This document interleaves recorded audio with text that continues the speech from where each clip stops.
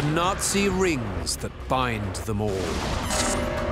A medieval plague and the horrific hellhole that spawned it. How London was saved by a dream. And a Marie Celeste mystery with a sting in its tail. A new kind of war, conflict on a scale never seen before or since. This is war at its weirdest. Incredible experiments. This has got to be one of the most bizarre weapons in the history of warfare. What is even crazier is it seems to work. Mysterious events. It does sound crazy, but we have eyewitnesses that claim that's what happened. Unexplained phenomena. They've never seen anything like this before. When a world goes to war with itself, things get really weird.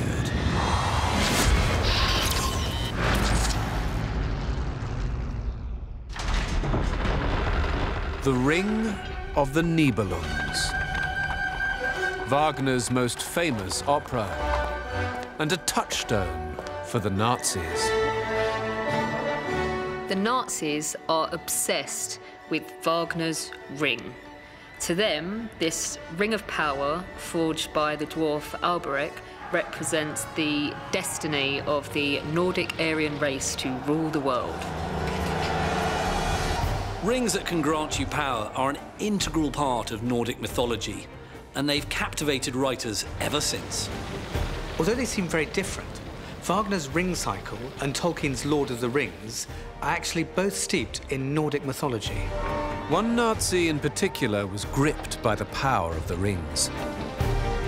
Himmler sees these rings as potent symbols of his sinister super soldiers. His SS stormtroopers wear silver death's head rings to mark their special purpose. There were thousands of these rings that were deposited at Wewelsburg Castle. We know that they existed, but at the end of the war, poof, they disappear like a vapor. They're gone, and to this day, no one's found them. What is the secret of Himmler's precious rings?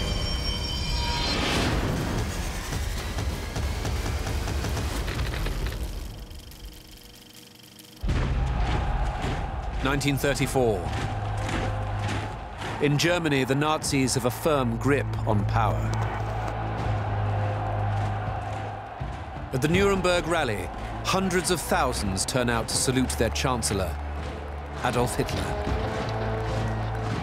Soldiers in black uniforms spearhead the stormtrooper legions, celebrating the thousand-year Reich. They are the Nazis' elite troops, the Schutzstaffel, or SS. It's not just their sinister uniforms that set the SS apart. They are driven by a dark ideology, born from a twisted vision of German history. Within the German military, the Schutzstaffel, the SS, was recognized as being elite, populated by men who were super soldiers. They're trying to establish themselves as an almost mystical order of knights, men of supposedly Aryan purity who regard all other races as being inferior. Untermenschen, they call them. And under this new ideology, these Untermenschen would all be eradicated. To be part of this new order, you have to prove that you are racially pure. And as you progress through the ranks, you have to perform these more and more elaborate pagan rituals. The ritualization of the SS provides a direct connection to the founding father of the SS and his belief in the occult, Heinrich Himmler. Himmler even designed Nordic pagan rituals to take the place of weddings, Christmas, baptisms, because he saw all of those ceremonies as heavily tainted by Judeo Christianity. Even the symbol of the SS itself, the two lightning flash sig runes, are based on ancient Nordic writing. As part of this unholy order, Himmler has powerful totems made for SS officers to bind them to the cause. There's a ceremonial sword, a dagger, and a Totenkopf ring, a death's head ring. It's a skull and crossbones covered in mystical symbols. For Himmler, these rings went back to Thor, the ancient Nordic god of war, and they were his ring of power. It was so powerful that the ring was more important than the individual. The death's head on it, providing a symbol that a member of the SS owed an allegiance. He had an honor binding to the SS until death. The lead acolytes of the SS cult receive the rings in person from their high priest, Heinrich Himmler. But there's a blood price to pay. When the wearer dies, the ring they are bound to must return to their dark lord. These rings aren't simply just tossed out to members of the SS. Each one has the recipient's name engraved on it, um, and it has inside Himmler's signature. And there are oak leaves as well, which represent the SS's commitment to their ideology and their faith in their ultimate victory. Himmler needs a base for his SS that will act as the repository for the rings, a shrine to his deathless heroes. In 1934, he chooses a remote castle in the heart of Germany, Wewelsburg.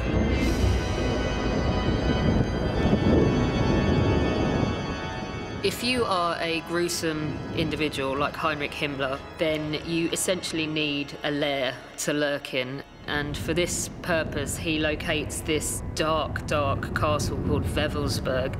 Wewelsburg is this triangular shaped fortress on top of a rock, and it has a very sinister past. A place of witch trials and executions. But what it's seen in the past is absolutely nothing compared to what Himmler intends to do to the place when he gets there. He wants it to become an occult temple, the center of Nazi mythology.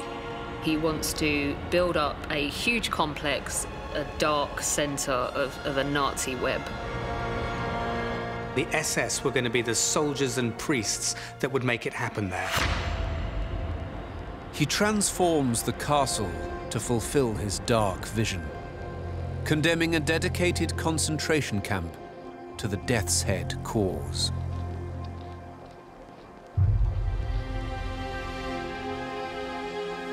This wouldn't be the Nazis if there wasn't some form of, of terror involved, and so all of the work is carried out by slave labour force, and they're basically forced to work until they drop. These poor slaves were kept in appallingly inhumane conditions. There, some 4,000 prisoners were worked, many of them to their deaths.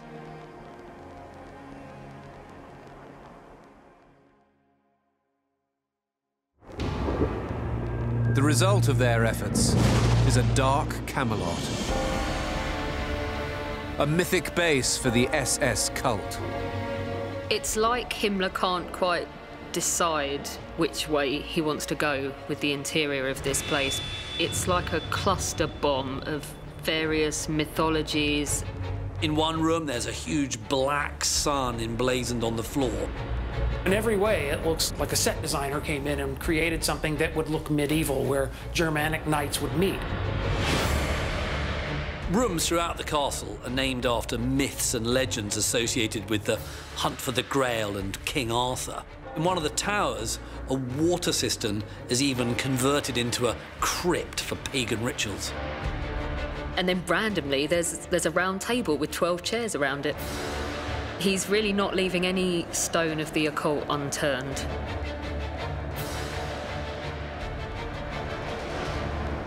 At the heart of the castle lurks the shrine to the holders of the Death's Head Ring.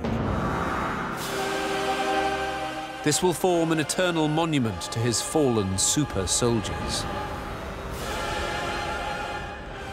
Himmler doesn't believe that once these rings have been given out to the recipients, they're theirs to keep. What he believes, genuinely believes, is that if one of his super soldiers is killed in action, then the ring must be returned to Wewelsburg. And he has a shrine for these rings where he collects them. Each ring providing a symbol of an individual who laid down his life in the protection of the Reich. And he thinks that he can draw on the power exuding from these rings and effectively wield the power of all these SS men that have died wearing them. As the war drags on, the Death's Head rings begin to earn their name. Right from the beginning of the Second World War in 1939, the SS are at the heart of the action. But of course, if you're on the front line, you're going to lose men, they're going to die. And as these SS men die, their comrades remove their Totenkopf rings, and these rings are sent back to Wewelsburg. Himmler soon starts to amass one hell of a collection.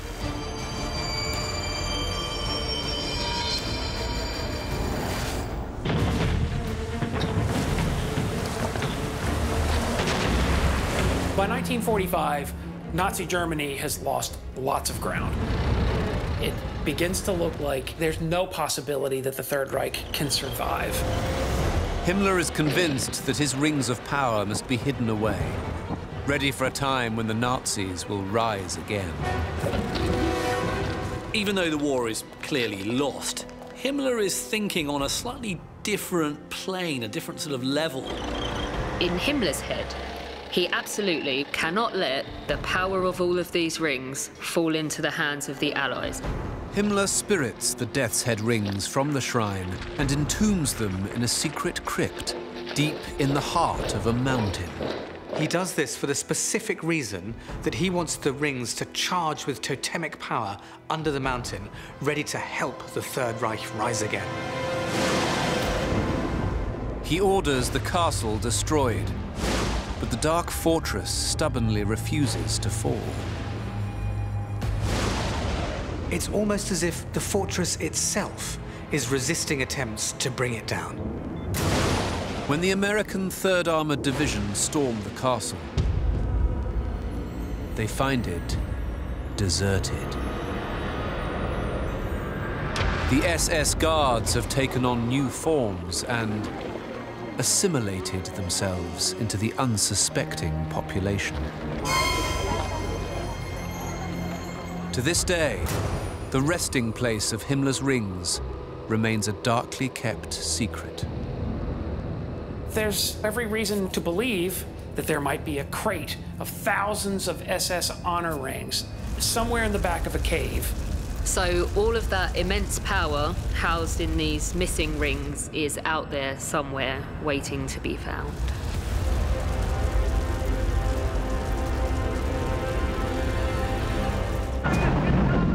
Coming up, as the war turns against Japan, its scientists go to any lengths to find a wonder weapon.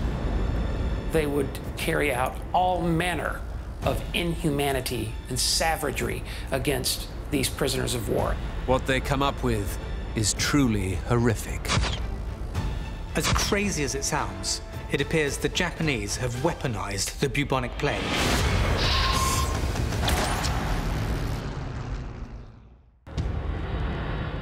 The Black Death. The very name conjures up images of pain and suffering. The bubonic plague is one of the greatest scourges that humankind has ever had to endure. And during the Second World War, the Japanese weaponize it. At the start of the war, Japan unleashed a medieval plague upon the people of China. But China is only the start. Japan's next target is mainland USA.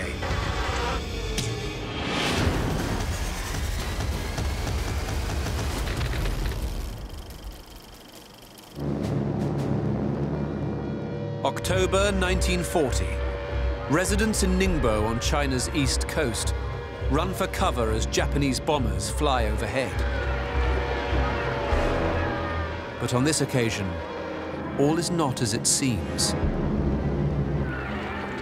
Residents of Ningbo assume that they're going to be bombarded with bombs. When they look up, they don't see explosives coming down. They see cardboard boxes. As the boxes broke apart in the airflow as they fell out of the aircraft, a little cloud of smoke trailed out of this box. And so their first thought was that maybe it was some sort of chemical that was being dropped on them. But it was not a chemical weapon, it was a biological weapon. The strange cloud eventually dissipates, leaving the townspeople confused and unharmed. Or so they think. Over the next few days, a mass sickness sweeps through the town. People complain of aching lymph nodes, glandular swellings, and a high fever. And shortly after that, people start dying. The incident has all the hallmarks of a terrifying plague. The residents of Ningbo start dropping like flies. Entire families are wiped out, and the bodies all have huge bubo swellings under their armpits. This can only mean one thing. As awful as it sounds, it seems that the Japanese have managed to weaponize bubonic plague, and they're dropping it over China. The plague bomb is the brainchild of microbiologist Shiro Ishii, founder of the notorious Warfare Research Lab, Unit 731. Unit 731 was a really, really horrific place. Think of the worst thing you can do to another human being and then multiply it a million times. That was Unit 731. Japanese would take Chinese prisoners of war, tie them to stakes, and then expose them to these poisonous chemicals. You also have some prisoners even strapped to centrifuges and spun round and round. And on one occasion, it said that a prisoner's eyeballs even popped out. This is a truly horrific place. They would carry out all manner of inhumanity and savagery against these prisoners of war. Top of Ishii's priority list is to see how the bubonic plague can be weaponized. The Black Death is a miserable contagion, and the way that it kills is not quick and painless. Ishii chooses the Black Death because it is one of the deadliest and most awful diseases in history. It's because it makes its victims suffer before death that he chooses it. It's because it has this voracious appetite for consuming the people that are exposed to it. He chooses it. He chooses it because his objective is to kill as many Chinese people as he can. At Unit 731, test subjects are injected with the plague to see how quickly it spreads through the body. As victims near death, they are cut open and their infected organs are harvested for further analysis. Next, the cultivated virus is passed on to swarms of fleas.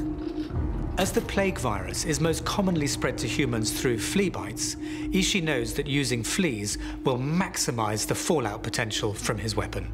The infected swarms are packaged in containers of flour and passed on to the Imperial Japanese Air Service.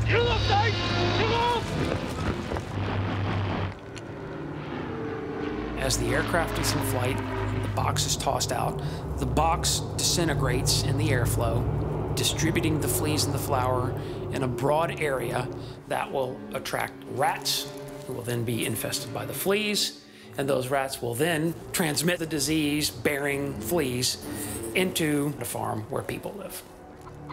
Even though the Ningbo experiment proved to be extremely deadly, it wasn't effective enough for Ishii. So what he develops is a ceramic bomb which can concentrate the release of plague in a far tighter area.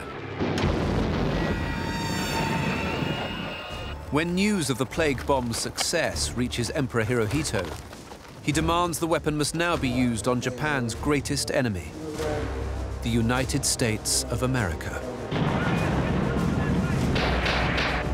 If he can't stop the Americans in the Pacific, Hirohito will unleash hell on earth in the United States.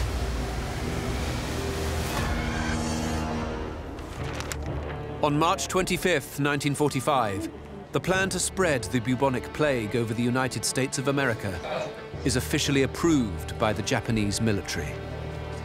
The target is the coastal city of San Diego. The city of San Diego was chosen as a target because it is coastal, so they can reach it with their long-range submarines. It's also a city where there are important military installations. And then also it's a city with a very large population so that they can maximize the use of the weapon. They estimate that the disease will spread to at least tens of thousands of civilians before authorities have a chance to contain it.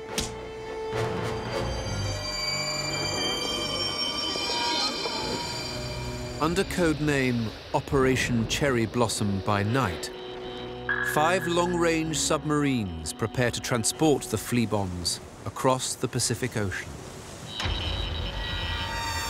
Under the cover of darkness, the submarines will creep to a few miles of the US coast. Nine kamikaze pilots are set to launch from the subs before dropping their deadly cargo on the unsuspecting residents of San Diego. Everything is now ready to go. The Black Death is coming to America. Isolated from the horrors of the war, the citizens of mainland USA feel untouchable. The bubonic plague could change all that. If there had been an outbreak of bubonic plague released by one of those Japanese submarines, the entire nation would have been in an uproar. But the plague bomb is about to be trumped by something even more horrific. On the 6th of August 1945, the American B-29 bomber Enola Gay drops Little Boy, the world's first atomic bomb, on the Japanese industrial city of Hiroshima.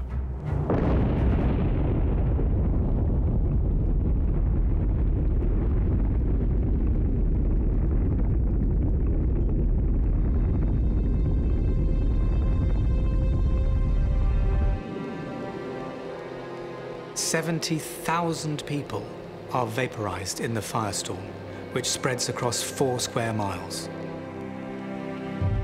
Three days later, a second atomic bomb, Fat Man, is dropped over Nagasaki, killing another 35,000. As if the death toll from the atomic explosion weren't enough, hundreds of thousands of Japanese are affected by radiation sickness, which will affect them and their children for generations. Japan is forced to surrender before Operation Cherry Blossom has a chance to launch. Before Japan can end the war with biological weapons, America has got there first with a weapon that is even more horrific.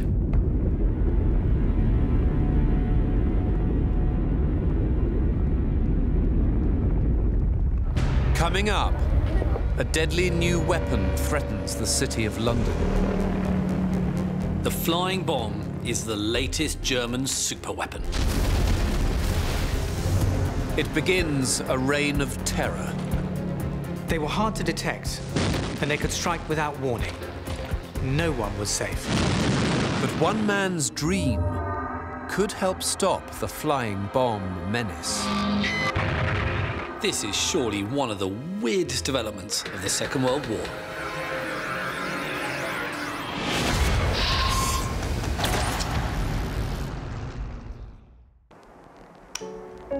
New Jersey, 1940.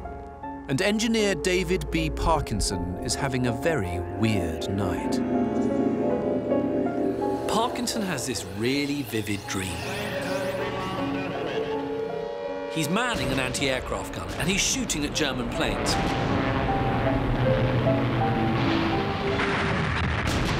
And every time he fires, he hits a plane. It's an amazing hit rate. And then he notices on the side of the gun there's a weird gizmo. And he realizes that this is what's allowing him to hit the target. What's really astonishing about this is that Parkinson has never actually seen an anti aircraft gun. He had no idea how they worked. Strange as it may seem, this dream will change the way that war is fought forever. And to do that, it will save the city of London.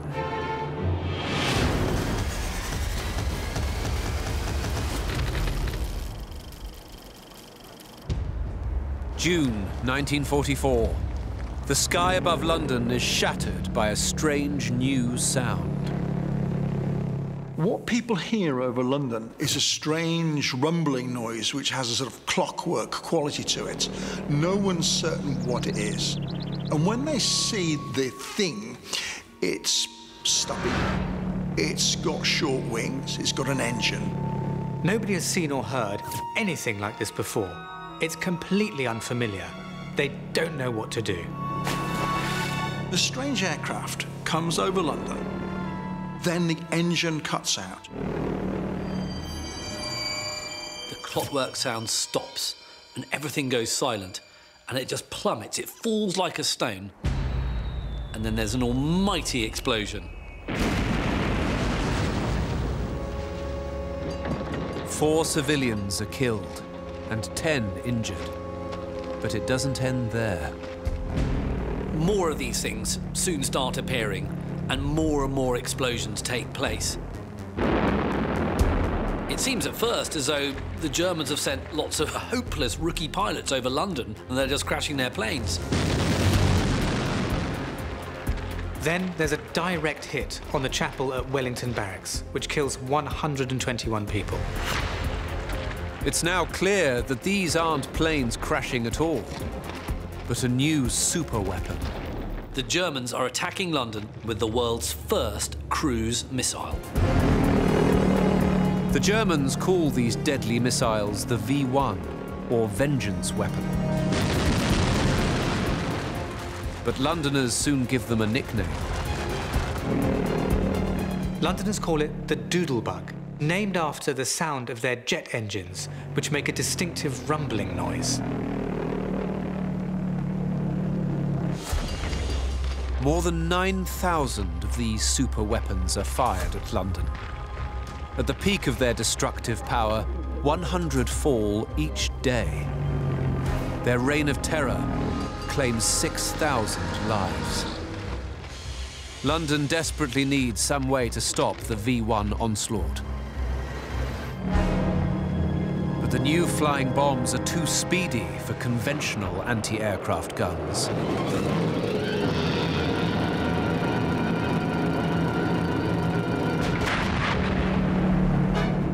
You'd think it would be easy to fire an anti-aircraft gun. There's a thing in the sky, you shoot at it. Nah, nothing like that. First, you've got two observers on either side of the gun, and they are trying to work out the altitude and the speed of the target. The observers transmit this information to the tracker he's got to turn the hand wheel to keep the gun on target. As the hand wheels turn, a mechanical director calculates the future position of the target and adjusts the gun's range, elevation, and fuses to get the perfect shot. All of this is going on within 30 seconds. And if you get it wrong, that bomb, whatever, will fall on civilians. The doodlebugs move so fast that it's hard for the anti-aircraft guns to hit them. Until a solution comes from an unlikely source.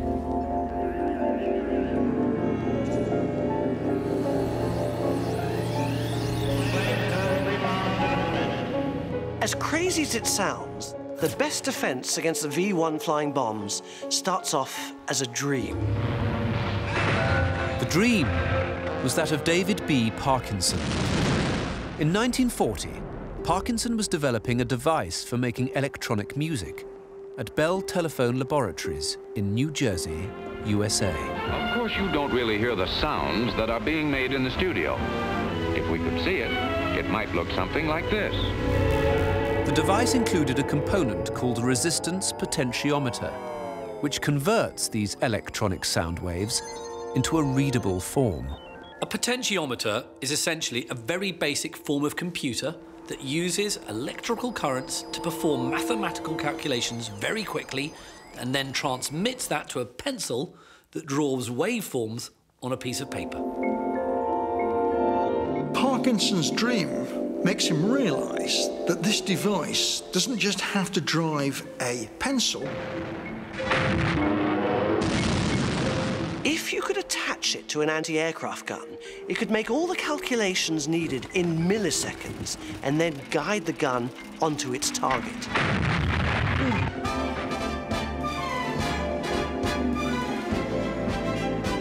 What's really incredible is that Parkinson had only ever seen anti-aircraft guns on newsreels. He has no idea how they work. He pitched his idea to C.A. Lovell, his boss at Bell Laboratories. Lovell thought the idea had potential and passed it up the line to his superiors. Eventually, the US Army heard the proposal and agreed to fund Bell Labs to develop a new electronic gun director. Now, this is not an easy task. In order to make this thing work, Bell's technicians have to work out how to link the electronic coil of the potentiometer to the mechanical servos of the gun. This had never been done before. The design isn't perfected until April 1942, when Bell Labs come up with the Model 9, or M9, gun director. And it's not until 1944 that it proves its true worth. When he hears about the M9, Churchill immediately realizes its potential. And he urgently requests to be sent to Britain to help fight against the onslaught of the V1s. Initially, the Americans are not happy to help with this problem at all. But one V1 hits three lorry loads of American servicemen and women leaving the club in Chelsea, which has been used as their headquarters. Over a hundred are killed. And at that point, the M9 system becomes available to the British. American technical personnel help set up the M9s on 100 anti-aircraft batteries all around London. They're an instant success. Thanks to the M9, some one in three V1s is shot down. And by the end of the war, that hit rate has risen to an astonishing 50%. London is saved. And warfare will never be the same again. The M9 will go on to spawn a whole new type of weapon, the surface-to-air missile because that uses exactly the same type of technology that was developed in the M9. And it all started with a dream.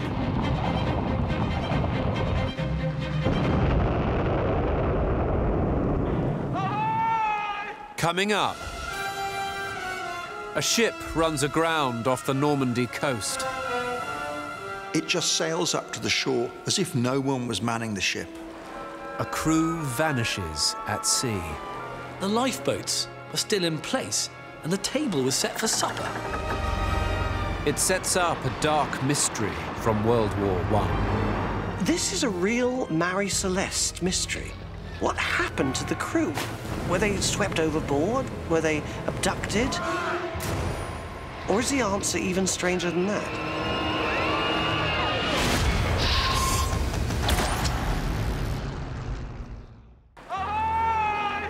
Ghosts, dinosaurs, strange disappearances. Oh my God. At the time of World War I, the English Channel was a dangerous place to be. There were rumours at the time that there was a huge sea monster living in the Channel. When an empty ship runs aground on the coast of Normandy, it gives birth to a dark mystery. This is a real Marie Celeste mystery. What happened to the crew? Were they swept overboard? The problem is that although the sails are slightly messed up, nothing else has been touched. The only other possible explanation is that they were abducted. The question is, by what?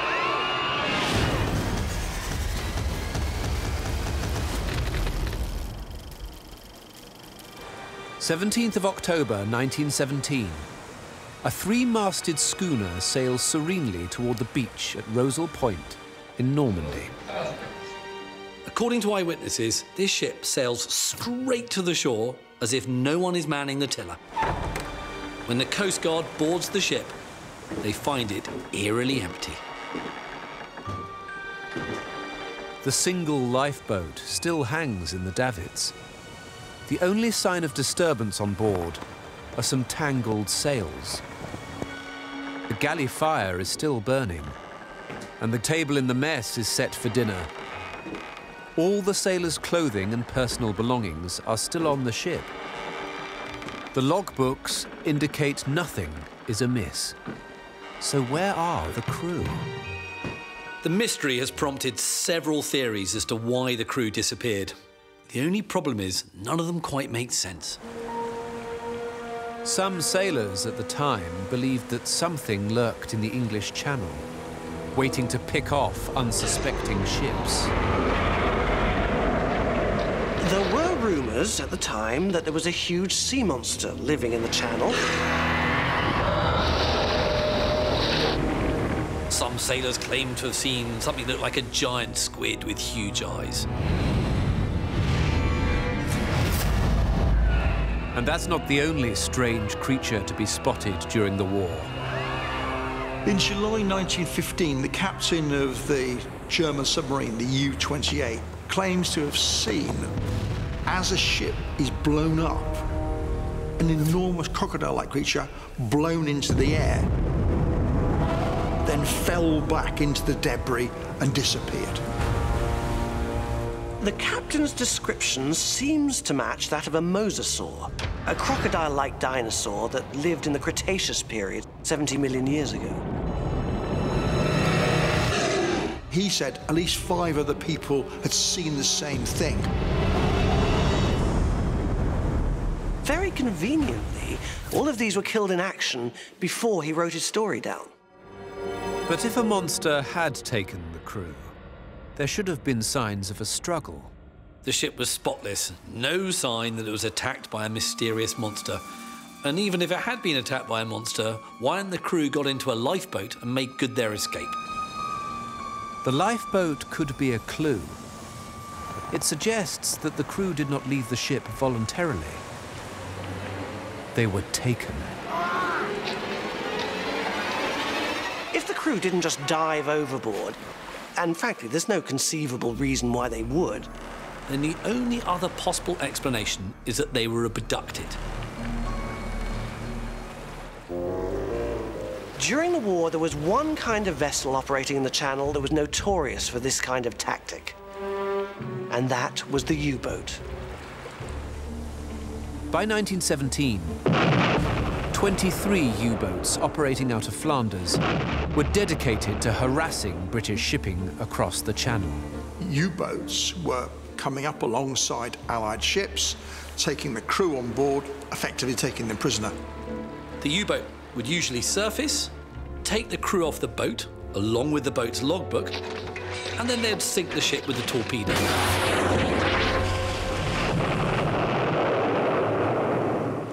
But this doesn't appear to have happened. What's happened is that the crew have been taken off the boat, but the logbook is still there. And then the boat hasn't been sunk. So if the Zebrina crew were taken by a U-boat, why then was the boat left untouched? Perhaps a clue to the answer lies in a remarkable incident which took place off the Devon coast in 1918. It involves the HMS Stockforce, a converted collier. The Stockforce is a poor little ordinary tramp steamer.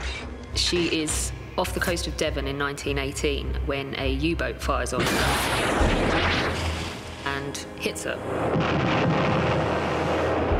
So the crew abandon ship, jump in their lifeboat and start to escape.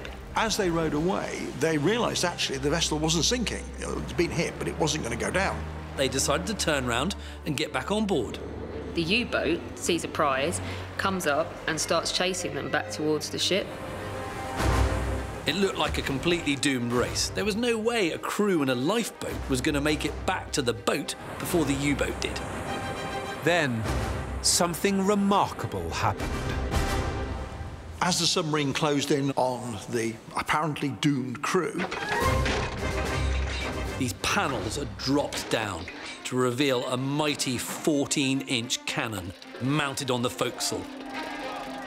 There are crew swarming all over the decks, and they begin firing shells into the U-boat. And they pound the submarine until it sinks.